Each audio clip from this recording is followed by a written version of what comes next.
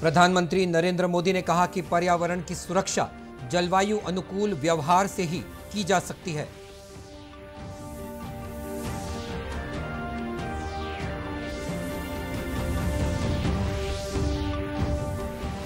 मुख्यमंत्री ने कहा कि प्रदेश में ग्रामीणों को गांव में ही रोजगार उपलब्ध कराए जाने से पलायन में आएगी कमी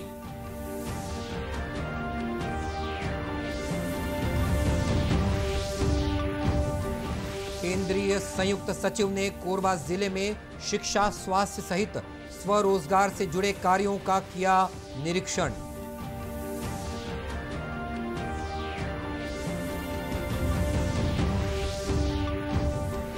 और देश में अब तक एक करोड़ 24 लाख से अधिक टीके लगाए गए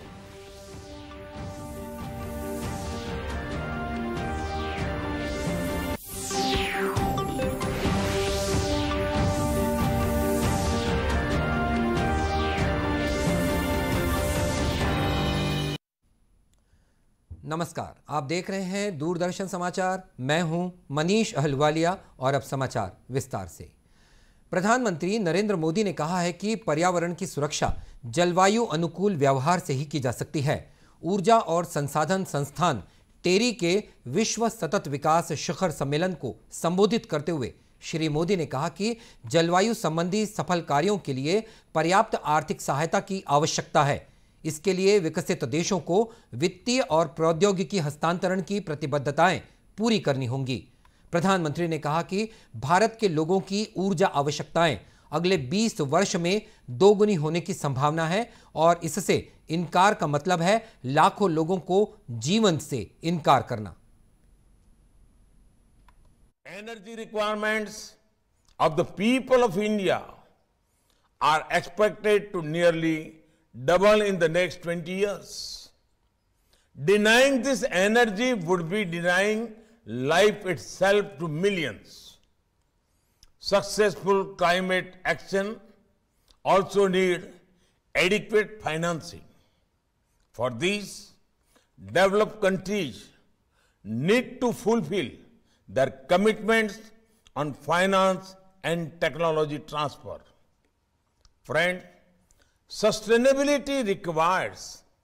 coordinated action for the global commons. Our efforts have recognized this interdependence. Through the International Solar Alliance, our aim is one sun, one world, one grid. We must work towards ensuring availability of clean energy from a worldwide grid everywhere at all times प्रधानमंत्री ने यह भी कहा कि गरीबों को समान ऊर्जा उपलब्ध कराना भारत की पर्यावरण नीतियों का मुख्य स्तंभ रहा है उन्होंने कहा कि भारत के लोग हमेशा प्रकृति और संस्कृति के साथ मिलकर जीवन जीते रहे हैं संस्कारों दैनिक रीति रिवाजों और अनेक फसल पर्वों में भारतीयों का प्रकृति के साथ मजबूत संबंध दिखाई देता है उल्लेखनीय कि कल से शुरू हुए तीन दिवसीय शिखर सम्मेलन में जलवायु परिवर्तन सतत ऊर्जा उत्पादन और संसाधन सुरक्षा पर विचार विमर्श किया जाएगा मुख्यमंत्री भूपेश बघेल ने कहा है कि छत्तीसगढ़ में ग्रामीणों को गांव में ही रोजगार मुहैया कराने के लिए राज्य सरकार द्वारा लगातार प्रयास किए जा रहे हैं और इसमें काफ़ी सफलता भी मिल रही है और इससे श्रमिकों के पलायन में निश्चित रूप से कमी आएगी जो भूमिहीन कृषक है उनको भी राजीव गांधी किसान राजीव गांधी भूमिहीन श्रमिक न्याय योजना के तहत वो लाभान्वित होंगे लगातार गौठानों के माध्यम से लोगों को हम लोग काम दे रहे हैं रूरल इंडस्ट्रियल पार्क भी लगातार खोलते जा रहे हैं तो ऐसे में गांव में ही जब रोज़गार उपलब्ध हो रहा है जंगल के क्षेत्रों में लघु अनुपद से जुड़े हुए वैल्यू एडिशन का काम वहाँ संचालित हो रहा है तो आ, निचले स्तर पे लगातार कैसे लोगों को रोज़गार मिल सके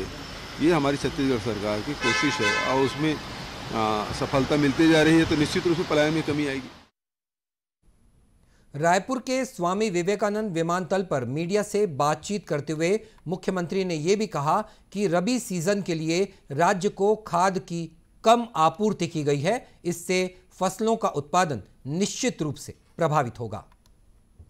केंद्रीय विद्युत मंत्रालय के संयुक्त सचिव और आकांक्षी जिला कोरबा के प्रभारी रघुराज माधव राजेंद्रन ने कोरबा प्रवास के दौरान जिले में शिक्षा स्वास्थ्य सहित स्वरोजगार से जुड़े कार्यों का निरीक्षण किया इस दौरान कोरबा कलेक्टर रानू साहू ने श्री राजेंद्रन को वनांचल क्षेत्र करतला स्थित सामुदायिक स्वास्थ्य केंद्र में स्वास्थ्य व्यवस्था के साथ ही जिले में स्वरोजगार के लिए गौठानों में किए जा रहे कार्यों की जानकारी दी इस अवसर पर श्री राजेंद्रन ने कहा कि कोरबा जिले में केंद्र सरकार की मंशा के अनुरूप शिक्षा स्वास्थ्य और स्वरोजगार की दिशा में बेहतर काम किया जा रहा है जो सराहनीय है कल से किया है तो इसमें अलग अलग जो पहलू हैं वो देख रहे हैं जैसे आंगनबाड़ी का है और सी है स्कूल्स हैं तो सभी जो है जैसे एक प्राथमिक तौर पे जो है कैसे कार्य हो रहा है उसको देख रहे हैं तो ज़िले में जो कलेक्टर हैं उनके नेतृत्व में जो है काफ़ी अच्छा काम जो है अलग अलग अलग पहलू में हो रहे हैं एक गौठान का भी विजिट किया था तो सब सभी जगह पे जो कन्वर्जेंस के साथ में जो कार्य होना है उस तरीके से जो है कार्य हो हुए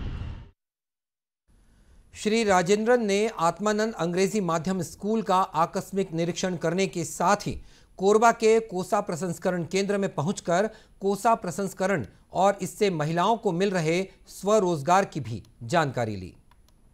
और समाचार का सिलसिला आगे भी जारी रखेंगे फिलहाल लेते हैं एक छोटा सा विराम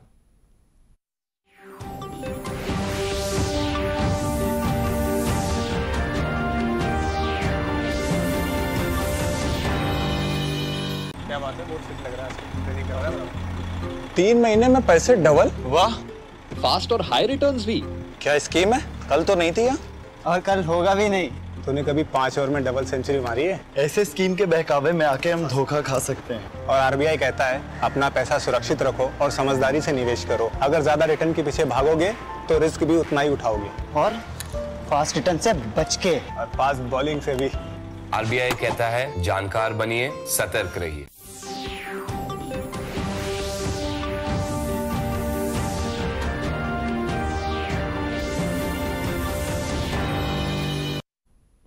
और ब्रेक के बाद एक बार फिर स्वागत है आपका दूरदर्शन समाचार में राष्ट्रव्यापी कोविड टीकाकरण अभियान के अंतर्गत अब तक एक करोड़ 24 लाख से अधिक टीके लगाए जा चुके हैं इधर छत्तीसगढ़ में भी कोरोना से बचाव के लिए टीकाकरण अभियान जोर शोर से जारी है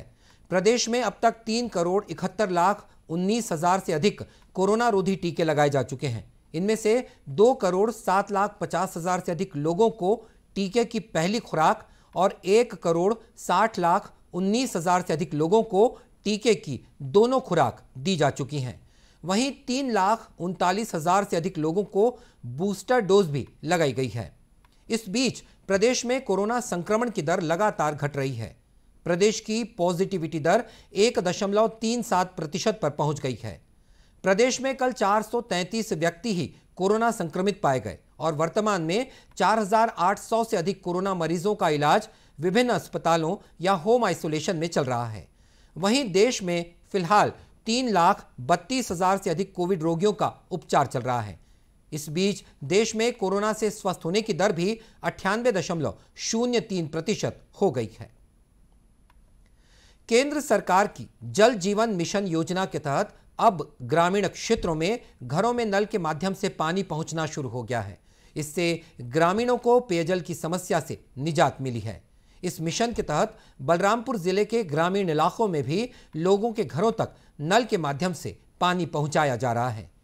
जिले के पहुंचविहीन क्षेत्रों के ग्रामीणों ने बताया कि पहले पानी के लिए उन्हें काफ़ी दूर जाना पड़ता था लेकिन अब जल जीवन मिशन के तहत घरों में नल कनेक्शन दिए जाने से पानी की समस्या से राहत मिली है यहाँ हम लोग के यहाँ पीने का पानी दूर दूर से लाकर पीते थे नल से ढोड़ी से लाकर पीते थे लेकिन अब सरकार ने हमारे यहाँ व्यवस्था बना दी है पानी घर तक पहुँचा दिया है और पानी के लिए भटकना नहीं पड़ता है हम लोग को अब पानी के लिए आराम मिल गया है जो है पहले नल स्कूल ग्राउंड में ही लगा है पहले से लगा हुआ है तो पहले इसमें का पानी जो है लाल कलर लाल कलर में टाइप से निकलता था और ये पहाड़ी क्षेत्र होने के कारण जो है यहाँ का पानी पीने लायक भी नहीं था तो चूंकि अभी की स्थिति में तीन चार महीना हो गया है पीसी और क्रीडा विभाग के द्वारा ये जो बोर लगा हुआ है तो इसके माध्यम से भी पीने के लिए हम लोग को पर्याप्त मात्रा में सही पानी मिल जाता है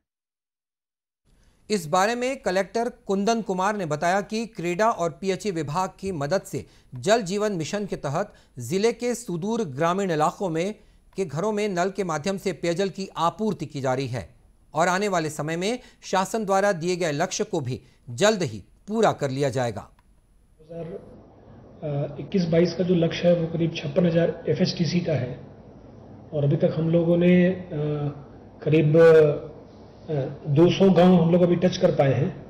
अभी मैक्सिमम जो वर्क्स हैं वो फील्ड में प्रोग्रेस में हैं लगातार उसकी मॉनिटरिंग चल रही है और हमारा लक्ष्य ये है कि इकतीस मार्च तक हम स्कूल आंगनवाड़ी को 100 स्कूल आंगनवाड़ी शिक्षा पीएचसी स्वास्थ्य केंद्र ये सब को 100 परसेंट कवर कर ले इसके लिए पंद्रहवें वित्त से भी प्रयास किया जा रहा है और जल जीवन मिशन से जो आ, जो टेंडर्स निकल रहे हैं उससे भी हम घरों तक पहुंचने का प्रयास कर रहे हैं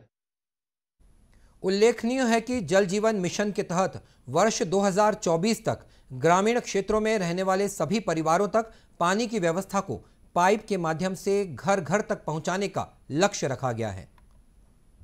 छत्तीसगढ़ के प्रयागराज के नाम से प्रसिद्ध धार्मिक नगरी राजिम में माघी पुन्नी मेले की शुरुआत हो गई है विधानसभा अध्यक्ष डॉक्टर चरणदास महंत ने कल मुख्य मंच पर भगवान राजीव लोचन की प्रतिमा के समक्ष दीप प्रज्वलित कर मेले का विधिवत शुभारंभ किया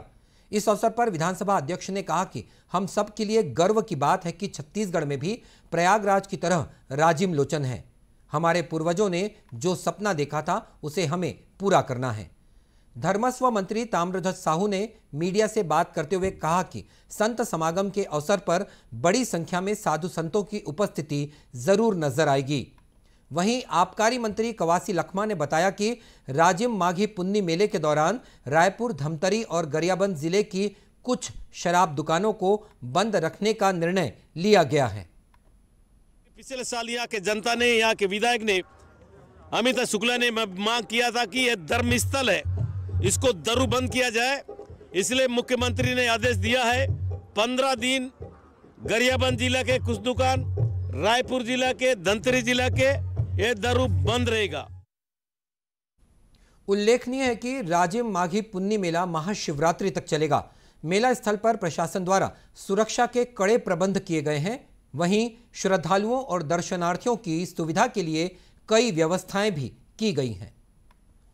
उधर महासमुंद जिले के महानदी तट पर स्थित पुरातात्विक ऐतिहासिक नगरी सिरपुर में सिरपुर महोत्सव का आयोजन किया जा रहा है संसदीय सचिव विनोद चंद्राकर ने दीप प्रज्वलित कर इस दो दिवसीय सिरपुर महोत्सव का शुभारंभ किया इस अवसर पर श्री चंद्राकर ने कहा कि इस बार महोत्सव केवल दो दिनों का है लेकिन आने वाले साल में इसे तीन दिनों तक किया जाएगा उन्होंने ये भी कहा कि शासन द्वारा सिरपुर का कायाकल्प किया जा रहा है ताकि विश्व धरोहर के मानचित्र में इसे शामिल किया जा सके आज सिरपुर में एक बड़ा महोत्सव मनाया जा रहा है माघी पुन्नी के अवसर पर निश्चित रूप से मैं धन्यवाद देना चाहूँगा माननीय भूपेश बघेल जी को माननीय अमरजीत भगत जी को जो इस कार्यक्रम के लिए उन्होंने आ, हमारा निर्णय स्वीकार किया और इस कार्यक्रम को आयोजन करने का आ, करने का आदेश दिया कलेक्टर नीलेश कुमार क्षीरसागर ने बताया कि सिरपुर एक पुरातात्विक धरोहर है इसे संरक्षित करने और संवारने के लिए राज्य शासन द्वारा कार्य योजना बनाई गई है सिरपुर जो एक बौद्धिक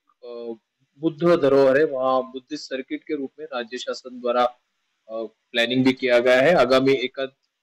महीने या दो महीने के भीतर माननीय मुख्यमंत्री जी भी आके उसमें कार्यक्रम कराएंगे उसमें बुद्धिस्ट सर्किट के अंतर्गत सिरपुर में जो भी बुद्धिस्ट आस्थापने हैं और उसके बारे में अच्छा पूरा प्लानिंग किया गया है उसको भी संवारा जाएगा संवर्धन किया जाएगा और अंतर्राष्ट्रीय लेवल पे इंटरनेशनल स्तर पे सिरपुर की और पहचान निर्मित करने के लिए कुछ कार्यक्रम भी किए जाएंगे सिरपुर महोत्सव में स्थानीय और रायपुर के कलाकारों ने सांस्कृतिक कार्यक्रम प्रस्तुत किए